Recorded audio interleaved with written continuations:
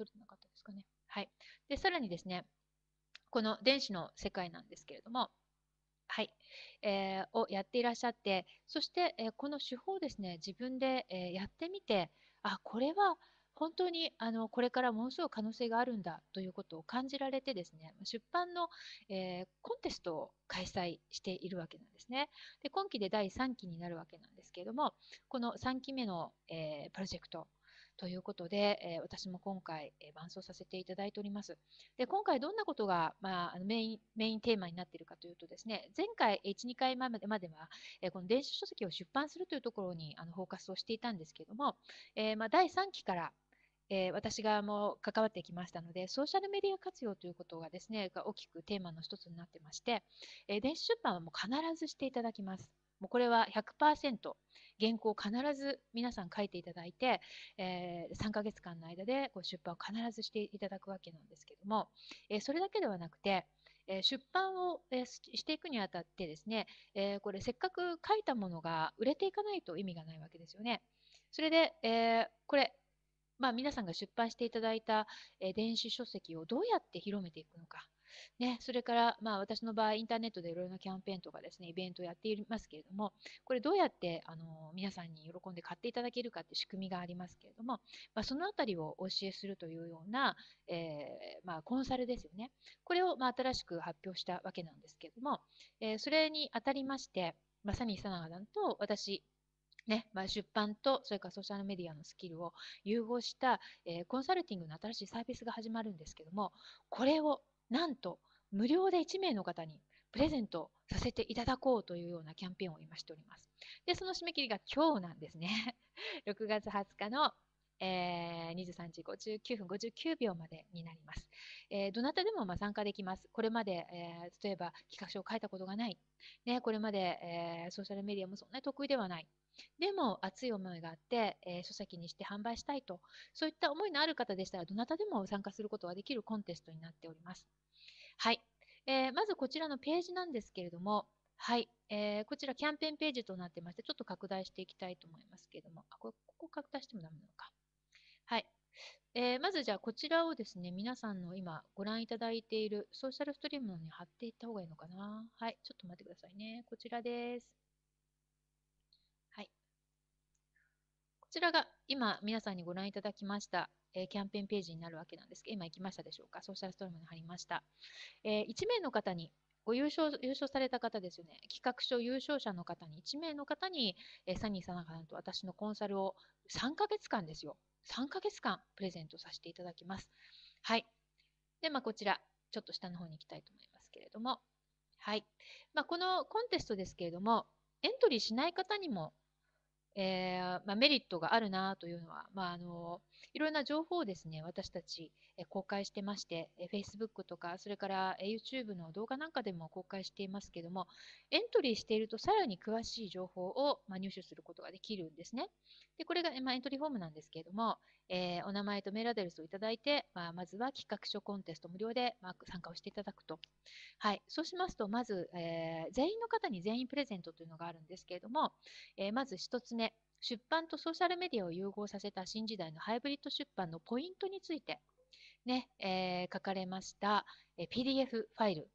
それから2つ目が今後の日本の電子書籍業界の予測についてですね、書かれている、え PDF ファイル。それから3つ目は出版が決まった5つの企画書を完全無料で、えー、皆さんにご提供させていただくということになります。これまさに須永さんのコンテンツになるんですけれども、まずエントリーしていただくと、こちらの3つのプレゼントが全員に、えプレゼントということになります。はい。そして、まあ、こちらのエントリーフォームの方から皆様にエントリーをしていただきますと、折り返し企画書の方を、えー、送らせていただくわけなんですが、えー、その企画書ってどんなフォーマットなのかということなんですよね。はい。ちょっと Facebook の方に公開をしましたので、ご覧いただきたいと思います。はい。え Facebook の方で今回のこの、えー、コンテストのイベントページというのを作りました。はい。えー、ちょっとこちらイベントページの方ね、えー、皆さんにコピーしてい、えー、きたいと思いますけども、こちらになります。はい。で、えー、こちらが、え、電子出版書籍、えー、スター誕生コンテストというですね、えー、ページなんですが、Facebook の中にですね、えー、作ってありますイベントページになります。えー、今日今日現在で78名の方がこの Facebook の方で参加をしていただいておりまして、えー、Facebook を経由しないで直接お申し込みいただいた方はもうすでに100名を超えている状態であります。はい。で、こちらの方にですね、えー、詳細書かれておりますけれども、はい、えー、もうこれね、参加表明していただいた方とですね、このように私もコミュニケーションを取らせていただいて、コメントなどで、えー、交流させていただいておりますけども、このページの中にですね、えー、私が、え作りました動画の情報コンテンツなども、えアップをされております。はい。で、こちらをご覧いただきますと、今回ね、え電子書籍がなぜ今タイミングなのかということであるとかですね、えどんなところがポイントであるのか、それから実際に出版するとどんなことが起こっていくのかといったような、えそういった情報などをあの書かせていただきましたし、えこの動画の方でもあのご覧いただけるようになっています。今あの、ソーシャルストリームの方に貼りましたけども、えそちらのイベントページの方ですね。はい、そちらからあのご覧いただくことができます。はい。えー、さらにですね、えー、出版の企画書なんですけども、どんな風になっているかというと、ちょっと実際の企画書をお見せした方が多分分かりやすいのかなと思うんですよね。はい、えー、昨日メールで皆さんの方には応募いただいた方にはですね、改めて、ね、まだあの出していらっしゃらない方なんかもいらっしゃいましたので、え再配布をさせていただいたんですけども、とってもシンプルな、あのシンプルなものになってます。はい、えー、ちょっとこちらの私のファイルの中に入ってますのでね、ちょっとお見せしたいと思います。はい。えー、っと、どこに入れたかな？この辺りに入ってるかな？はい。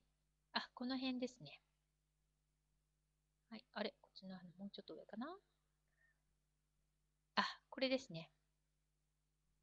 電子版。あ、違う違う。これじゃないか。えー、っと、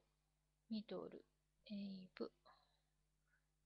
えー、あ、これかな？あ、ちょっと待って待って。ちょっと待ってね。ドキュメントで作ったんですけども、ランディングページ。あ、これですね。出版した誕生コンテストシートというのがあるんですけども、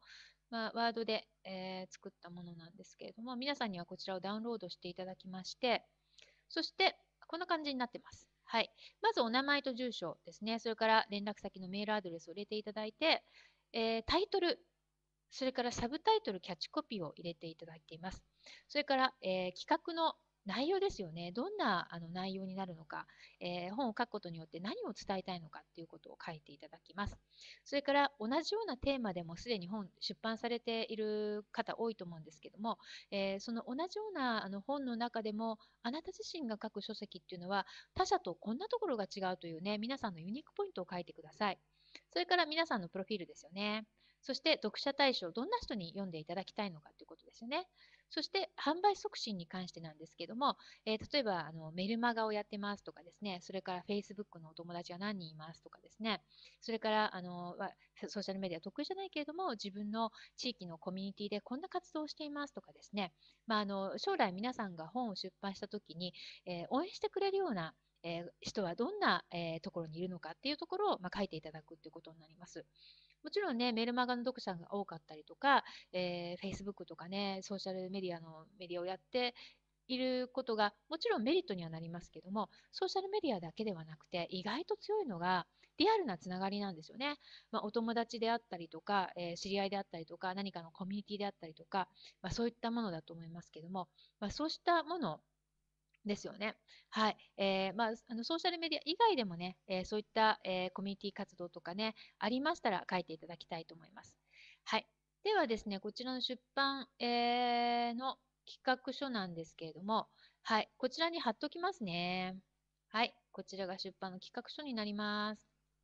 はい。これ企画書ですね。こちらからもダウンロードできますので、こちらご覧ください。はい。えー、ユーストリームの方に貼れるかな？ちょっとこちらにも貼ってみましょうね。はい。ちょっと140文字を超えちゃうかもしれないんですけども、ちょっと一応貼ってみましょう。はい。こんな感じ。あ、ちょっと多すぎるか。途中で切らないとダメかもしれないね。はい。これじゃちょっと途中まで送りますね。はい。で、その次の下の方も送りますね。はい。まあ、あの、企画書のフォーマットはですね、参加表明していただいた方にはメールで折り返しお送りしてますけど、もう締め切り今日ですからね、皆さんね。はい。今日ですから、もしまだもう今から参加したいっていう方がいらっしゃいましたら、えー、こちら企画書になりますので送ってください。はい、今ね、2つに、2段にわたってお送りしました。はい、では皆様からのコメントをご紹介していきたいと思います。はい。えー、っと、どんどん下に行っちゃいますので、どんどんご紹介していきたいと思います。え清美さん、業務連絡です。問題解決しましたと。ありがとうございます。たまみさん、今日は本当にパソコンとソフトとシステムとワードプレスのプラグインと同時にダウンしましてね、もう本当に今日は もうね、何とも言えない一日を送りましたけれども、でもあの、そんな時にもね、必要なメッセージってやっぱり入ってくるなと思ったのは、まあ、たまみさんにこうして、まあ、教授に助けていただいたっていうのもね、これ本当に感謝なんですけど、私今日、あの、そんなですね、システムとかパソコンが全部ダメになってる時にね、ふっとあの見かけたあのコメントがあったんです。それがですね、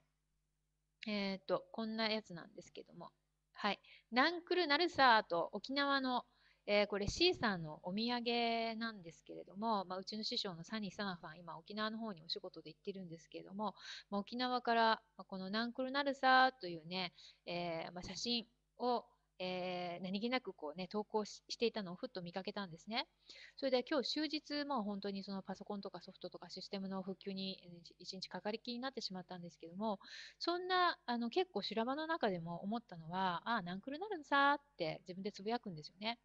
はい。で、これまでもね、例えばライブネット TV とかでも本当に配信できないとか、マイク音出ないとか、そういうトラブルも山ほどありましたけど、その時にもいつも私が思ってるのは、あ必ず突破口はあるぞということ、それからあの必ずこれがきっかけになって何か自分が進化するぞということをいつもつぶやきながら頑張っています。はい。で今日、ナンクルなるさというね、えー、メッセージをあのふと見かけまして、私もシェアさせていただきました。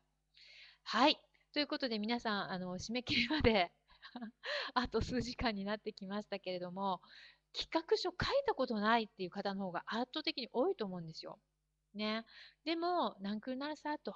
ね、やってみなきゃわからないという気持ちでぜひ、あの、ご応募いただければなというふうに思っています。はい。では、書き込みの方ご紹介します。はい。えー、中野みっこさん、大阪からありがとうございます。もう、中野さんからはもう早々に企画書の方届いておりますのでね、はい、あの、早くに届きまして、あの、しっかりとサニーさんと私で拝見させていただいておりますのでね、はい、中野さんはなんといってもソーシャルメディア界ではもう先生されていらっしゃる方なんでね、まあ本当にあのネットワークが幅広い方でいらっしゃいますのでね、ぜひあの中野さん出版してほしいなと思っております。ね、あの出版っていう一つのやっぱり肩書きっていうのかな、えー、冠がつくことによって今やってる仕事の絶対底上げになるし、それからあの新しい分野の仕事が開けてくるって、これ自分が体験したことなので、これ本当に私、あの実感がありますからね、中野さん、ぜひ今年は出版目指していただきたいと思っております。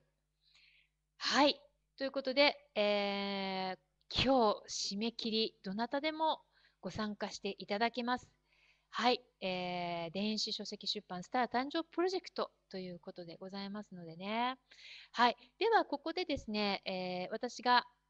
えー、まあ、何日間かにわたってですね、まあ、動画を皆さんの方にお送りしてきたんですけども、先ほどのイベントページの方ですね、はい、電子書籍出版のイベントページの方で、えー、公開した動画がいくつかありますので、えー、今日はそのうちの一つをね、皆さんにご紹介していきたいと思います。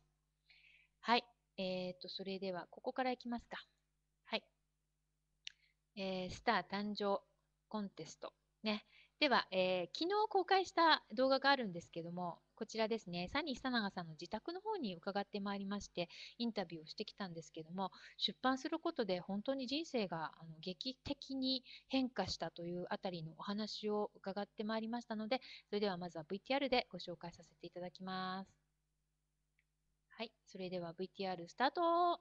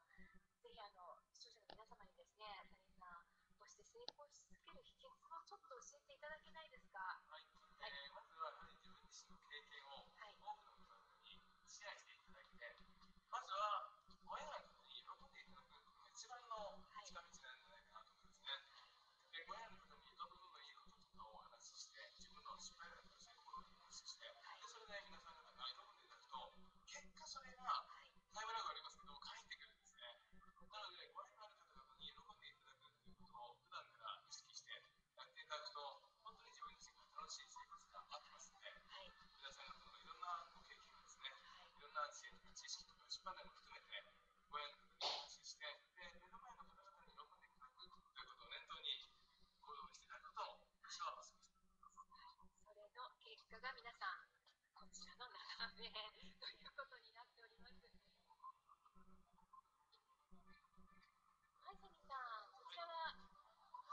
はい、えー、皆さん、こちらはですね、えー、こちらに住人専用の、はい、えー、ジュースが、はい、こちらの方に併発してまして、はい、えー、タワーマンションにお住まいの方だけの限定のクルーズなんですけど、こちらであのお台場の本湾でですね、ランチしたり、あとは普段ですね、一緒にこうツアーでクルーズで楽しめるというような施設ですね。えー、と出版してですね、私自身は、まあ、非常にあの多くの方々に、はい、えー、まあ、ファンになってもらったというのもありますし、あとね、一本でいろんな方々にですね、自分がやりたいことを実現することができるようになりまして、はい、それまでは本当にあの広告を打ったり、まあ、サロンを経営してましたので、えー、普通にチラシを巻いたりということがやってましたけど、はい、もう今はほとんどそういうお金をかけての、まあ、告知であるとか、そういうことで、一切やってないんですね。もうメールをするとか、フェイスブックをするとか、そういうことだけで、えー、全国の方々がご覧になっていただいて、はい、それはあの出版してるサニーしたらなという、あの印象を皆さんが持ってくださってるメールになりますね。だからね、そういったこともありますし、あのもう出してらっしゃるねということで、まあ、ほぼ毎日ですね、いろんな方がメールをいただけるんですね。はい、それも全国の書店とか、あと電子書店からえ手に取っていただいてご覧になっていただいた方が、まあ、ね、最近いろんなソーシャルメディアありますから、あの、アメブロにメッセージを、まあ、普通にメールが来たりとか、あと、フェイスブックでメールをしていらっしゃいますので、そういった部分ではソーシャルメディアの、連携性がすごくいいですよね。はい。最強の組み合わせとしては過言ではないかもしれないですね。やはりこう通常こう出版すると敷居が高いと思ってるんですが、はい、まあ、今回のね、この電子書籍は非常に敷居も低くて、皆さん方の持ってらっしゃるコンテンツとか経験とかノウハウさえあれば、結構さえあればですね、ほぼ出版できますので、はい、このチャンスはですね、もうぜひ皆さん方、ご縁の皆様方には、ぜひ獲得していただきたいなというふうに思いますね。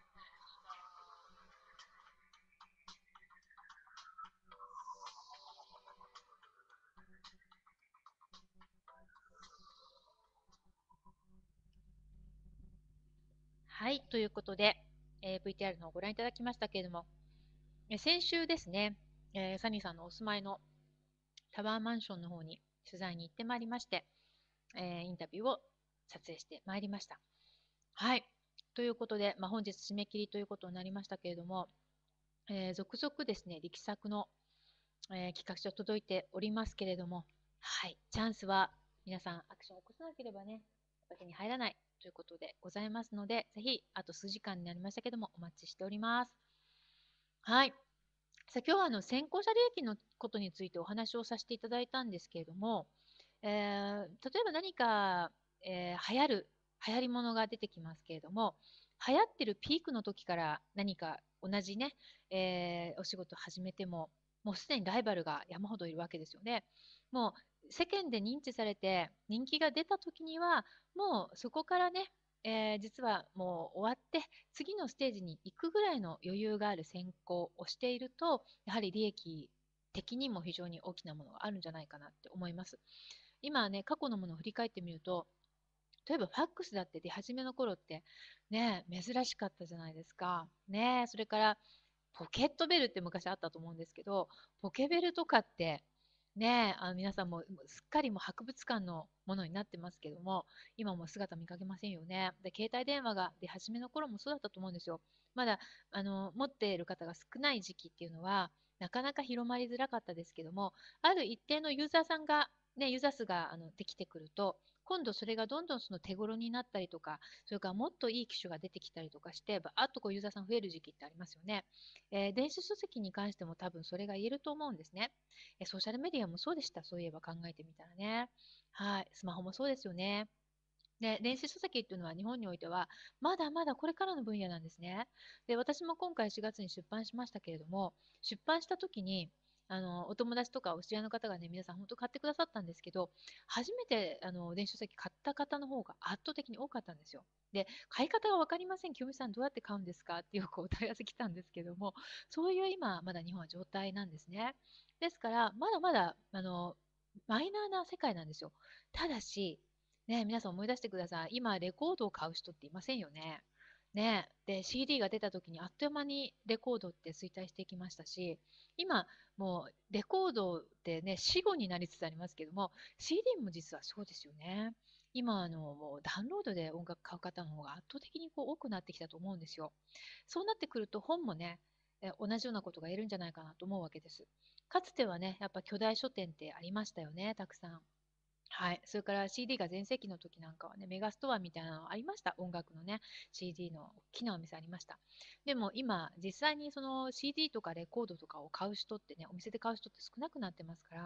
まあそうした業界ってどんどんこう縮小されてきてると思うわけなんですよね。それで何が伸びてるか。例えばインターネットの世界だったら、かつては、あの、まあ百貨店とかでお買い物してた方が、今はもう本当にネットでえいろんなものを取り寄せたりとかね、それから贈り物とかもネットで注文してっていうことになってきてますよね。だから本でもですね、まあ、本自体はなくならないと思うんですよ。もちろんこの印刷した、えーこう手でしっかりと感じられる質感のある本ってやっぱりいいです。だけど、これからね、爆発的にその紙の書籍が、えー10倍、100倍、1000倍の勢いで伸びていくっていうふうには思えないんですよね。やっぱりインターネット時代になってきましたから、どんどんデジタル化とか電子化が進んでいくっていうのは、これはもう予想できるわけなんですよね。それで、まあ、私思うんですけども、自分が英語圏に住んでて思うのは、えーインターネットもそうですし、いろいろなそのネットの仕組みとかってアメリカから生まれることが多いんですね。それで英語圏の方でソーシャルメディアがガーンと流行りましたっていうその3年後ぐらいにようやく日本の方で、えーそのブームがね、やってくるような時間のタイムラグっていうのがあるんですよ。それで私が思うには、えー日本の電子書籍の大ブームっていうのは2016年だというふうに思っています。で、その頃までには、やっぱり電子書籍の分野で、えーもうこれね、自分の立ち位置っていうのを確立しておく必要があるんじゃないかって自分は思っています。えつまりどういうことかっていうと、電子書籍の作り方を教えられるインストラクターであったりとか、それから電子書籍でもう実績を出して、まあ、Amazon で1位を取っているという実績を積み重ねていくっていうようなことを含めてですね。うん、で、あの、人に教えられる立場になっておくと、これから本当にあのお客様のものすごい多い市場になってきますから、もういち早くね、あのそちらの、えー立ち位置の方に行きたいなって私は思っています。それで、そういう目標があると、勉強しててももうすぐはかどるしね、それから勉強量も半端じゃなくすごく多いんですけれども、全然苦じゃないと。自分の好きなことをやってる時ってなんでこんなに勉強がこんなにすごい熱心できるんだろうって自分でもびっくりしますけどもこの電子のあの仕組みを知れば知るほどこれはもう早くいち早く皆さんにやっていただきたいなと思うことがいっぱいあります。はい。そしてもう実はね次のステージが出てきてしまっています皆さん。電子書籍の次の世界ですよ。これ今日私、あの、実は師匠のサニーさんから、えーメッセージをいただいたんですけども、ちょっとご紹介させていただきますね。はい。個人メッセージの方で届きましたんですけれども、はい。こちらですね。今日届きました。はい。えーこんなものなんですけども、ちょっとこちら、ちょっと大きくして、これね、お見せしちゃおうと思います。これ個人メッセージで来たものなんですけども、はい。ちょっとこちら読んじゃいますね。はい。ちょっとこれ拡大しましょう。スレッド全体ファイルを追加。はい。これを大きくすると皆さんの方にも文字が見えるかと思うんですけども、はい。ちょっと拡大しますね。もう皆さん、電子の次のものが出てきてるんですよ。ねえ、早くしないとって感じでしょ？はい。ちょっとご紹介しますね。こちらなんですけれども、はい、おかげさまで Amazon 主催で、えー、DOD キャンペーン、こう聞いたことないでしょ、まだね。DOD キャンペーンって何だってことなんですよね。はい、えー、サニー・サナが、えー、疲れない体の作り方、えー、初の DV 化特集、バナー掲載はこちらですということなんですけども、これ皆さん何だと思いますか？もう電子書籍のその先の話なんですけれども、えー、まああの、ある程度その Amazon の方で、えー、総合1位とかですね、え、各部門で1位を取った方に、実績のある方向けに限定で Amazon の方が今、ダイレクトメールで、えー、個人的にお問い合わせをしているそうなんですけども、Amazon の方で宣伝をしてくださるそうなんですね。それで、電子書籍のその先です。つまり動画です。DVD ですね。はい。Amazon の方で DVD 化した特集をしてくださるということなんですけども、ちょっとこちらの方をご覧いただきたいと思います。これ未来の話を今してます、皆さん。はい、えー、ホビー実用というところで、えー、今、えー、いくつかね、出てますけれども、なんと、もう書籍を飛び越して、DVD の電子化が進んでいます。で、今ここに出てるのが、えー、実際に形のある DVD もあるんですけれども、そのもう形のある DVD、今までだったらね、あのいろいろなスタジオとかで撮影をして、えー、いろんな人の手を経て、え、商品として出来上がっていくわけなんですけども、これからあの電子書籍の世界になってくると、これね、自分で撮影して、でそれをデータとして、まあ、Amazon の方に出すという形になってくると思うんですけども、えー、それでこの DOD って何かというと、オンデマンドのことなんです。つまりこういうことなんですね。はい。えオンデマンド技術というのは、注文に応じて Amazon が DVD を製造、パッケージ、お届けしてくれる新サービスのことで、ディスクオンデマンドというサービスなんですね。えー、最近スタートしたばっかりです。私も実はサニーさんにこのディスクでオンデマンドの話を伺ったのが4週間ぐらい前です、まだ。それで、まあ、アマゾンの方からあの今回サニーさんの方に、えー、このオファーが来て、えー、あっという間にサニーさんもあのスタジオを構築しましてですね、ご自宅の方にあの立派な施設がいっぱいあるんですけども、えー、まあ、卒業生さんのコンサル生さんの中でそのビデオが得意な方がいらっしゃって、で彼もあのあっという間にそのプロ機材を揃えてしまいまして、それであのまあ、すでに既存の本で出版されている疲れない体の作り方という本があるんですけども、まあ、それの、えー、リスクオンディマンド化、つまり動画化ですよね。あの本に出てくる、えー、いろいろなこの、えー、内容を実際にこう著者さんが出演をして、えー、ビデオを作るという形なんですね。で、これまでも DVD の販売ってあったと思うんですよ。ただし、それって商品になるまでね、もういろんな人の手が入ってますよね。でも、あのこれから、えー、このディスコンデマンドのいいところっていうのは、なんといってもデータですから、データですからね。それで注文が入ると、注文が入った分だけ商品にしてくれるんです。つまり在庫がない。これすごい画期的なことですよね。在庫を抱える必要がないんです、皆さん。注文が入ったら、その注文に応じて、えー、DVD にしてくれて、で、えー、お届けしてくれるというサービスなんですね。つまり、えー、出版する方ですよね。出す方は、これ内容のデータというか、まあ、動画を作ればいいということになります。はい。これ皆さん本当に今の最新のもので、新しいものです。これは電子書籍よりもその先の話になっていますけども、えー、こちらの方ですけども、えー、まあ値段の方はですね、まあ、980円から8618円ぐらいまでのこうレンジがあるわけなんですけども、もうあのこれ、ね、紙の書籍、そして電子書籍、そしてその先の、えー、ディスクオンデマンドの世界にもね、実はあの世の中というのは入ってきています。はい。ですから、まあ、あの例えば皆さんの中で、えー、まあ、動画にした方がいいコンテンツってあると思うんですよ。お料理なんかもそうですよね。それから体を動かすことであるとか、えー、それから私だったらあのソーシャルメディアスキスキルとかありますよね。まあ、こういったものをあのご自身が出演するのもいいですけども、えー、例えば、えパワーポイントなんかを作って、そのパワーポイントを録画したものとかね、これももう立派な動画のコンテンツということになりますから、まあ、そういったものが今後 Amazon の方で、えー、発売されていくということになっております。はい、これ今日入ってきたあのニュースなんですけどね、すっごいことになってますよ、皆さんね。えー、これ、ビデオオンデマンドの仕組みですね。はい。最新情報ということでお送りしましたけれども、はい。まあ、なんといってもね、あの電子のいいところというのは、まあ、このね、お話でも出てきましたけれども、はい、在庫を抱えなくていいということですね。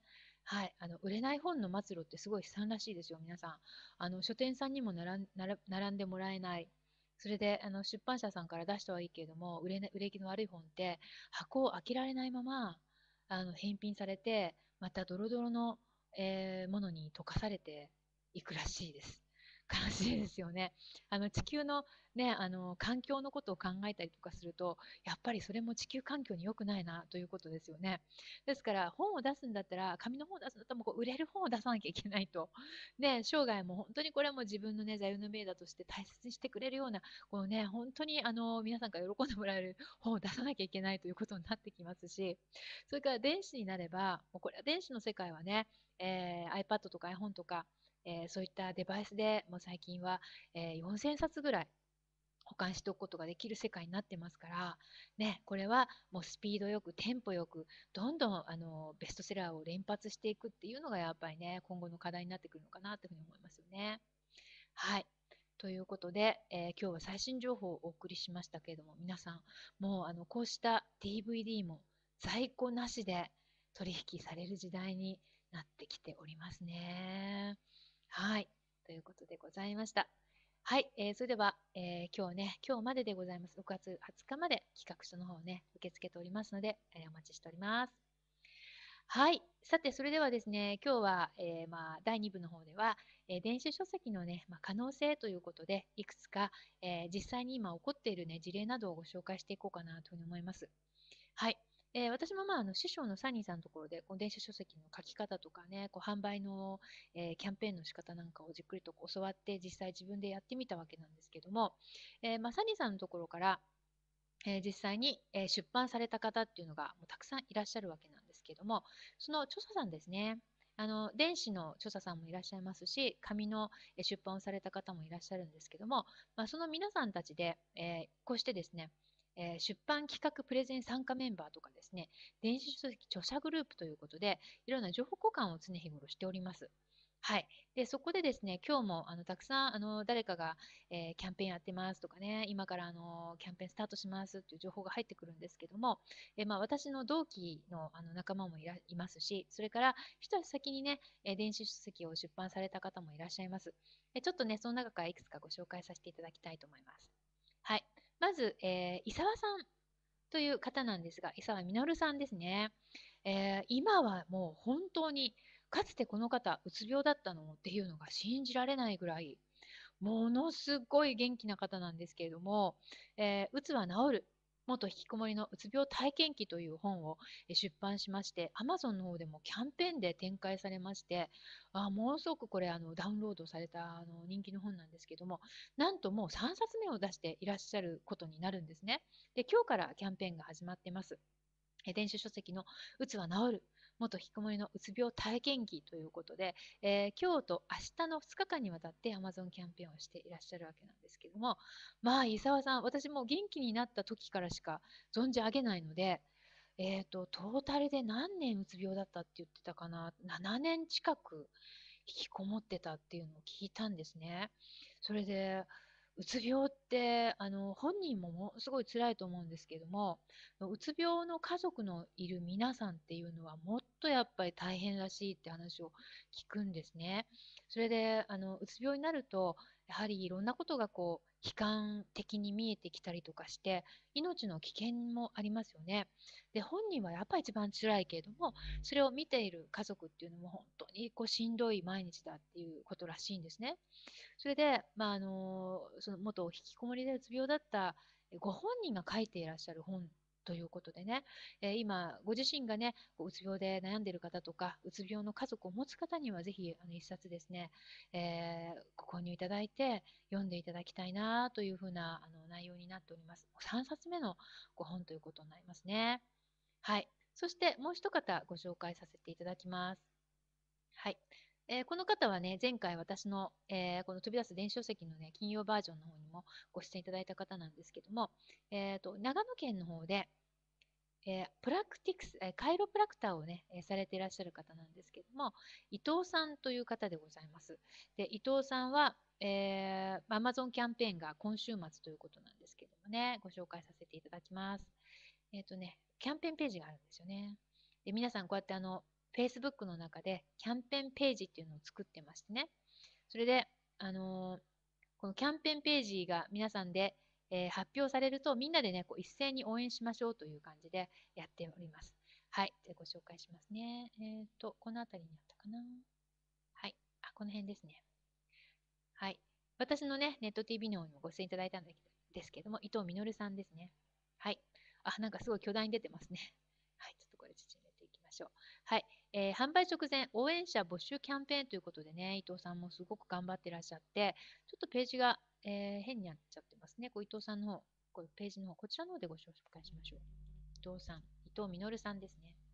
はい。で、伊藤さんはね、私と同じようにね、あの、まあ、電子書籍を、動画を連動させることを考えてまして、えーまあ、本当に超簡単にできるあのストレッチ体操ですよね。まあ、そういったものを盛り込んだ、えー電子書籍を出版されるんですけども、えー超絶簡単、超簡単よりももっとレベルの高い超絶簡単ということでですね、今すぐできるセルフケアということで、今週の日曜日にね、えーこのキャンペーンが展開されるということでございますので、はい、あの私もすごく同期であの一緒にこの電子書籍を目指してきた仲間なんですけれども、いよいよ6月22日にね、Amazon キャンペーンということですので、えーぜひね、応援していきたいと思っています。はい。そしてもう一方なんですけれども、こちらの方ご紹介します。はい。えー、久我さんという方なんですけども、すごい人気の、えー電子書籍を出版されまして、え6部門で1位になっております。Amazon Kindle、暮らし、健康、子育て、それから美容ダイエット、えー Kindle ストア、Kindle 本、新着本、美容新着本で、え6つの部門でね、1位を獲得しましたけれども、えー腸から始める美人磨きということでね、まあ、セラピストのお仕事をされていらっしゃる方なんですけれども、まあ、ものすごい人気のご本でございます。それで、まあ、久我さんも、えーサニーさん直伝の出版前、えー講演会というのをね、あのやりましたけれども、もう本当にお客さんがあの詰めかけた大人気のあのイベントを開催されまして、えーたくさんの方に応援をされて、で、あの、幸先良いスタートを切られた方でございます。ね、久我陽子さん。あの、やっぱりこう、勢いのある本っていうのかな、あの、人気のある本っていうのは、あの、手に取ると、なんで売れてるのかな、というのは非常によく、あの、ヒントになりますのでね、えー腸から始めるって、ちょっとこう、意外な切り口だと思うんですけども、腸から始める美人磨きということでですね、ぜひ、あの、おすすめの一冊になっております。はい。そして、えー私ですね、サニーさながさんと、それから、まあ、先ほどの引きこもりのね、ご本が大ヒットしている伊沢さんとですね、こちらの電子書籍のご紹介 Facebook ページというのを一緒に運営させていただいています。それで、あの、仲間たちを応援する意味もあるんですけれども、えー誰かがご出版するとか、キャンペーンするとか、それから自分が実際に購入してみて、あ、これはいいなと思った本なんかをですね、こちらの方で順次ご紹介をさせていただいているんですけれども、え現在303名の方にコミュニティに入っていただきまして、えー著者さんが多いんですけれども、これから、からまあ、あの本を出していきたいというふうにね、あの目指している方なんかもこちらで情報交換をしていただいています。それで、えーこちらの Facebook ページの方にですね、えーまあ、自分のこう出したコンテンツなんかも皆さんに、えーこうやってご紹介をしているんですけども、ね、お友達が、何かこう出されるとか、同級生さんとか先輩さんとかですね、そういう方が、あの新しいキャンペーンをされるときっていうのは、こちらの方でご紹介をしています。はい。えータイにピンクのタクシーが多いわけはということで、これ来週、あの、タイと結んで、えーライブ中継させていただく予定なんですけども、こんな感じでですね、人気の書籍をご紹介させていただいております、Facebook ページがございます。電子書籍のご紹介というページですので、えーこれからあの出版を目指していかれる方、それからすでにね、あのご本を出していて、えー反則の部分ですよね、あの販売促進の部分でちょっとこう伸びや伸び悩んでるとか、やり方がわからないというような方は、ぜひあのこちらのページご参考にしていただただきたいなというふうに思っています。はい。さて、それでは皆様からの書き込みをご紹介させていただこうと思います。はい。えー、と、遅くなりました。電子書籍魅力ですね。ということでね、西さんありがとうございます。はい。えー、まあ、電子書籍ってこれから大きくなる市場ですから、今やっといた方が本当にいいと思います。それで、あの、かつての本っていうのは、あの、こう書き手の方がね、あの、一方的にこう伝えるスタイルだったと思うんですけども、今インターネット時代になりましたから、私のやってるこのネット TV もそうなんですけれども、読者様とあのオンタイムで交流できる仕組みっていうのがたくさんありますのでね、あのまあ、ソーシャルメディア化できるあのメディアじゃないかなと思ってます。はい、えー、神戸さんありがとうございます。えー、マッカイキムさんこんばんは。いつもありがとうございます。はい、えー、そして三浦智子さんありがとうございます。えー、ルーマニアのね、お料理教室、も本当に大ヒットでございますけど、今度あの、人気雑誌の美的の方に特集が出るそうでございますけれども、今年はね、あの、初め、年の初めの頃に、本田選手が表紙になっているアイラの方にね、あのご夫婦で特集記事が出たりとか、まさにあの三浦さん、今年本当にあの飛躍の1年になってるんじゃないかなと思いますけども、ぜひとも子さんもね、あのこの電子書籍を翼にして、さらにね、あの高く、え舞い上がっていただきたいと、えー、飛び出していただきたいなって思います。はい、えー、それからキャンベラからレイナさんありがとうございます。電子書籍出されている方、本当に多いんですねと、えー、しかも面白そうなものばかりすごいと。まだまだ著者さんの数は少ないと思います。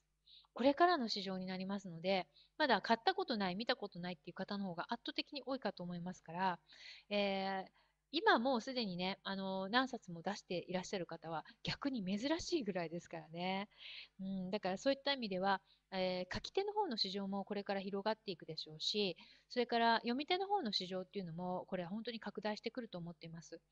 それで、あの読み手の方の市場がね、拡大するあの根拠っていうのが私あるんですけど、それはあの日本に行って特に感じたのは、もう皆さん、ね、あの一人に一台ずつスマホなり、タブレット PC なり持っている時代になってきましたよね。で、えー、電子書籍っていうのはそうしたスマホとかタブレットとすごく相性がいいんです。タブレットで読めますからね、ダウンロードして。うん、だから本屋さんに行く手間もいらない。それからね、えー、本が送られてくる時間のタイムラグもないと。ね、もうインターネットさえつながるところであれば、もう読みたいと思った本をすぐにダウンロードしてその場で読める。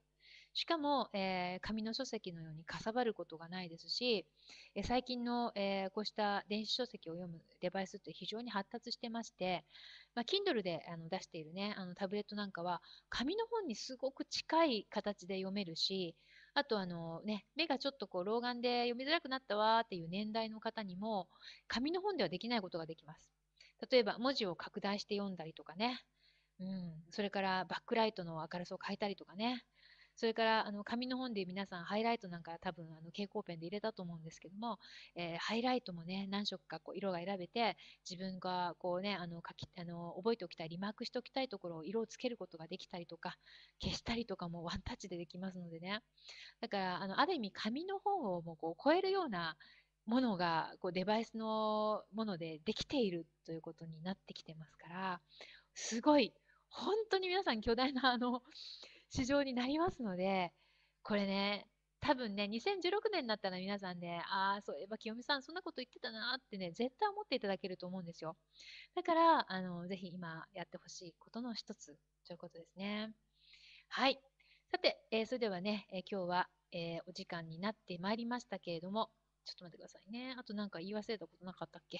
ちょっと待ってくださいね。結構ね、あの、白熱して話してしまうと、今日やらなきゃいけなかったことあの忘れてしまうことがあったりとかするんですけど、ちょっともう一回、覚書の方で確認しますね。皆さんにあの予告の、えー、先ほどメールを送ったんですけれど、今日のテーマは、在庫なし。あ、大丈夫そうですね。はい、大丈夫そう。全部言えてたみたいですね。ありがとうございました。はい、それではね、えー、もうお時間になってきましたけれども、もう一度最後皆さんの方にご紹介させていただきます。はい。まあ、アクションを起こさなきゃ夢なんか叶わないでしょ？ということでですね、えー、今回、電子書籍のスター誕生プロジェクト指導しております。えー、締め切り今日の23時59分59秒までになりますけども、半年前は私も皆さんと同じ立ち位置でした。企画書を書いてました、半年前はね。はい。ぜひ、あの、チャンスを手にしていただきたいと思います。えー、企画書で優勝された方には、1名の方に3ヶ月間、マッカイ清美とサニー久永さんのコンサルをプレゼントさせていただきます。えー、必ず出版していただきます。そして、え出版をしていただいて、どうやってそれを売っていけばいいのか、でどんなふうにあのイベントを開催していったらいいのかといったような販売促進の、えー、スキルもお教えするコンサルを無料でプレゼントさせていただきます。さて、応募の方法なんですけども、先ほどはい、私もこちらのですね、右手の方に書きましたけれども、えー、一番最初にアップしたこちらのリンクですね。http コロンスラッシュラッシュの never-web.com スラッシュ prd01 スラッシュというこちらになりますけども、はい、こちらのページ。はい。こちらに行っていただきまして、はい、無料エントリーですね。はい。そして、えー、エントリーしていただきますと折り返し、えー、まずこの3つの特典を全員にプレゼントさせていただいています。えー、出版と SNS を融合させた新時代のハイブリッド出版のポイント、えー、さらに今後の日本の電子書籍業界の予測について、そして出版が決まった5つの企画書を完全無料で、えまずはこの3つ、えプレゼントさせていただきます。そして本日中にですね、企画書を必ず 送り返してください。で、あのこれメールいただきますエントリーしていただきますと送られてきますけれども、もしね、手に入らないという方は、この Facebook の、え電子書籍のご紹介のページに行っていただきますと、えこちらの中に、えー、電子書籍のこの企画書を貼っときました。はい、こちらですね。えスター誕生出版、え企画書ホームを作りましたので、えー、こちらの内容で送ってください。まあ、一応の A4 1, 枚サイズっていうふうに言っておりますけれども、本当に思いがあのたくさんある方は3枚、4枚で送ってきてくださってますので、えー、皆さんあの枚数に関わらず送っていただければというふうに思います。はい、えー、ダイレクトに今ね、この企画書をゲットされたい方は Facebook ページの方に行っていただきまして、えー、Facebook の電子書籍のご紹介、ね、この Facebook ページになりますけど、こちらの方で、えー、企画書の方、ゲットしていただくことができます。はい。ということで、皆様からの、えー、コメントをご紹介していきたいと思います。はい。こちらの絵にしときましょうかね。はい。ちょっと待ってね。はい。はい。えっ、ー、と、ともこさんからいただいています。はい。ご紹介ありがとうございましたと。今企画書書き終わりました。ね。はい。今すぐ送ってくださいね。お待ちしております。あと2時間作成しながら見ています。はい。えー、たけし、木村さん。あ、木村さんありがとうございます。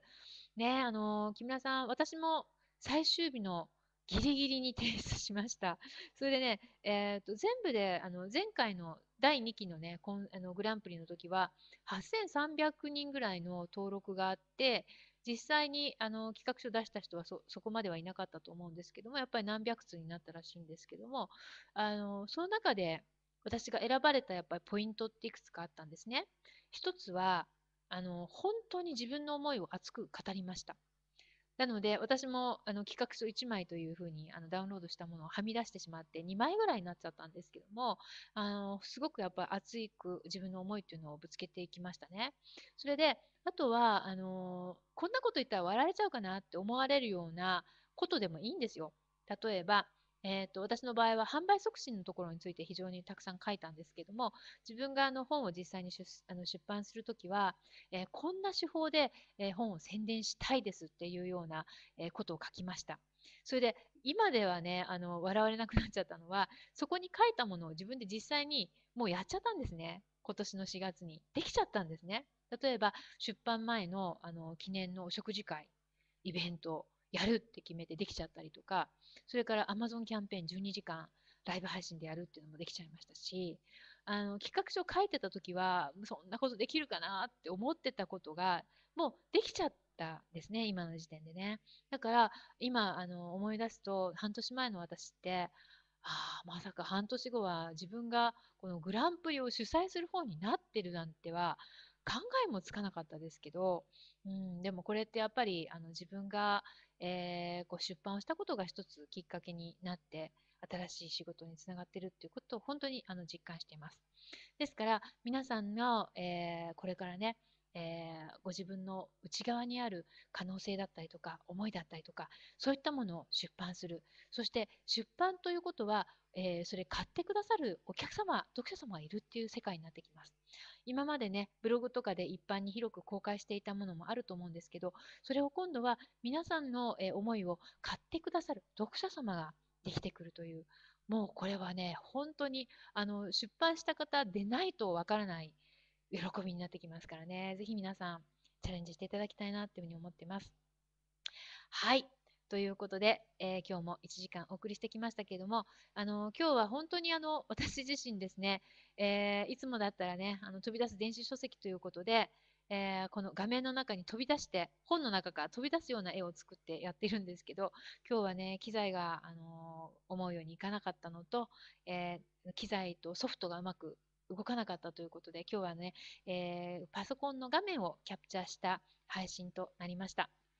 はい。ということで、ぜひ皆さんの熱い企画書お待ちしております。えただいま、え時刻の方は日本時間22時3分になりました。ねあと約、え2時間切りましたけれども、今からでも間に合いますのでね、えー、ぜひお待ちしております。